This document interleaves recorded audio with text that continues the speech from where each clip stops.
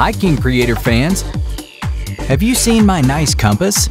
With it, we will trace a circle on a recycled piece of cardboard. Then, with the karate chop skills we learned from watching Jackie Chan movies, cut it with one chop. Roll the long piece up from a tube and glue it with our instant super glue. Dust off that ruler you haven't used since elementary school. We'll need it to make straight lines around the cardboard circle.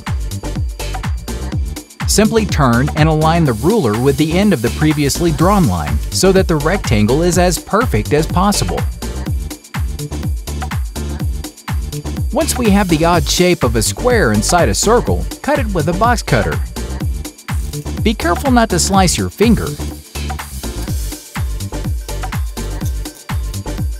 Separate the rectangle from the circle. Once we have these two pieces of cardboard, insert the circle into the tube as shown on screen and put some glue on the edges to prevent it from falling out easily. Now, get a small motor from one of your younger brother's toys or order it online. We'll also need a propeller that we'll recommend you get in the same way as the motor. I don't think I have to explain what happens when you connect the propeller to the engine, do I? To measure the wooden stick, place it on the cardboard tube. And we'll make the mark to identify where the cutting pliers will do their work. Place glue on both sides of the engines and join the two sticks we just cut. Place the whole thing inside the cardboard tube and secure it with some of our super glue. We'll need a small light bulb, the kind you see some food trucks decorated with. Wind a copper wire around it, making a mini coil. Take some adhesive tape, preferably insulating tape, to hold the copper wire coil in place. Borrow the aluminum foil from the kitchen. We recommend doing it while your mom isn't there. After cutting an aluminum square, attach it to one end of another copper wire and crumple it until it has no shape. Once both wires are attached to the bulb, you already know the next steps we're going to take. Connect the ends of the wires from both bulbs by twisting them together. Link an extra cable that will be used to connect everything to a switch. What do you think? Would it turn on? Get one of these special batteries that remind me of the ones my old remote control cars used to come with, and connect both the red and black wires the way I do on the screen. We'll need to connect more copper wires, but this time from the motor to the switch. I hope all these wires don't cause you too many problems. To finish the electrical circuit, all that's left is to secure the joints with solder.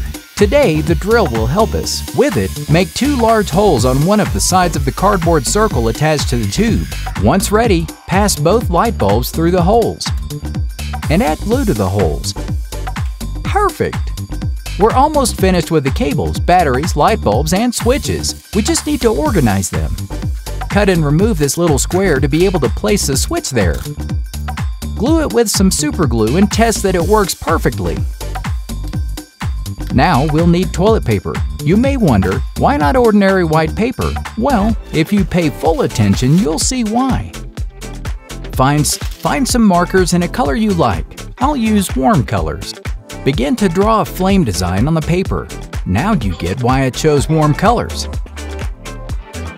Alternate between the two colors to give it a better appearance. I'm an artist. I will call this piece Le Foyer.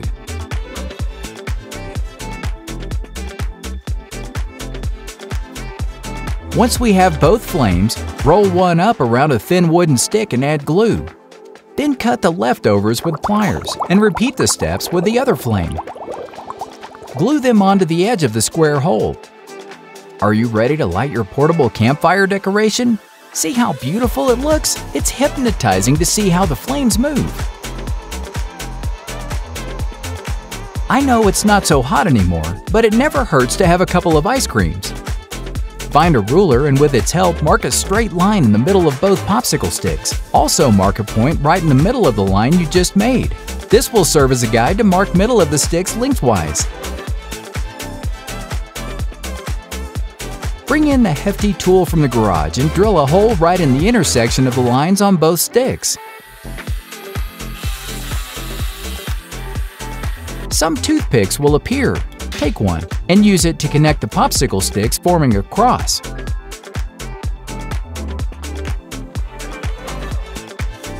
Since here we love to secure everything, we'll be doing the same with the crosshead we've just formed.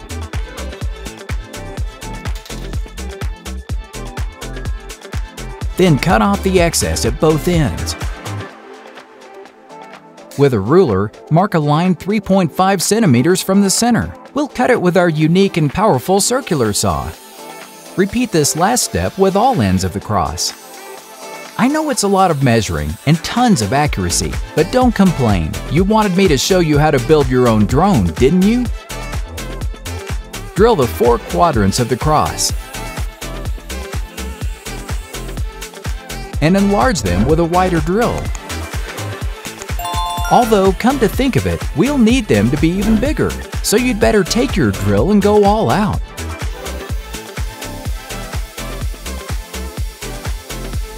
Look at these huge holes.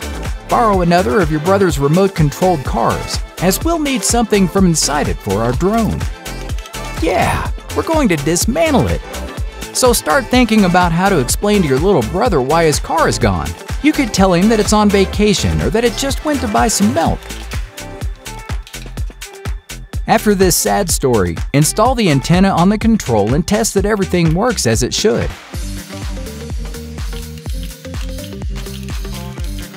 Take the car and open the cover on the back by removing the small screws that hold it in place with a screwdriver. Place them somewhere safe so as not to lose sight of them. Now take out the toy's inner circuit. And look in the box of electronics that everyone should have for a propeller and a series of mini motors connected to a circuit. Bring back the cross with holes in it and put some super glue on it. When gluing the circuit in the center and inserting the little motors in the huge holes that we created a few moments ago, don't forget to put enough glue so that they don't come off in flight. Take the straw from your morning smoothie out of the garbage and cut four pieces, long enough to separate the cross and the circuit from the ground. Glue each one to the ends of the cross to act as landing legs. We're almost finished, but our little drone still can't take off. The battery still needs to be connected. Secure it to the body of the drone with a piece of ordinary tape. Yes, the transparent kind. No colored ones today. The most important part are the propellers, with which it will take flight. Place four of them on the pivots of the small rotors. I hope you are satisfied. I have fulfilled your dream of having a small homemade drone. If you have any other ideas or suggestions that you'd like us to bring to this channel, leave it in the comments. And who knows, maybe Creator King will grant your wish. In the meantime, I'll continue playing with my personal drone. Maybe I could install a small camera and add a spy feature to it so I can see where my family hides my food. Thanks for watching our inventions made out of household items today. Follow my channel if you'd like to learn more about making simple yet incredible inventions. Also, click on the link to see more videos about my amazing inventions. Click on the link to subscribe to my channel so that you don't miss any of my videos. Thank you so much for watching this tutorial. Until next time,